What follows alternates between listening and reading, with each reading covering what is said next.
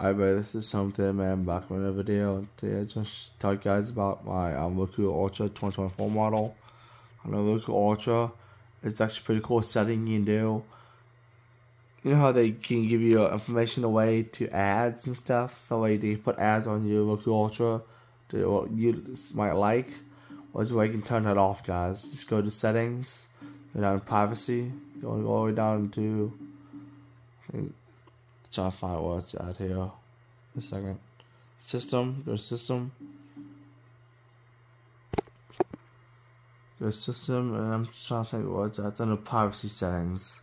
The privacy settings for this guys. Um.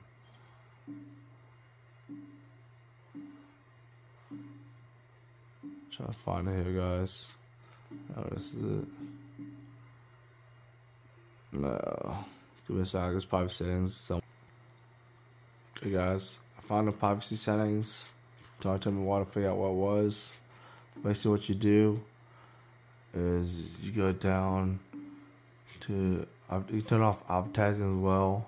Since uh, sensitive ad content to see if your ads are sensitive you need sensitive ad. So I deselected this.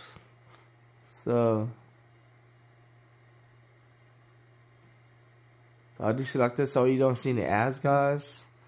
You turn off ads, it's cool. So I turn off the ads and then um so privacy policy, privacy choices, here it is.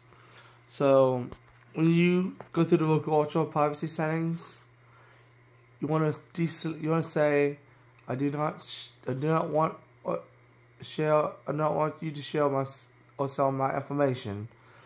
So you guys notice I selected that. I selected that on my Roku Ultra. And this is this is only on the 2024 Roku Ultra. It's not on the 2022 model. So you guys read this. Okay, I just want to show you guys this. You can you can turn this off, but you can't get your information. That's pretty cool. Again, please do like, subscribe to my channel. Leave a comment down below your thoughts on it. If you guys thoughts on this. Get home there, man. Over and out. Have a good day, guys. Take care.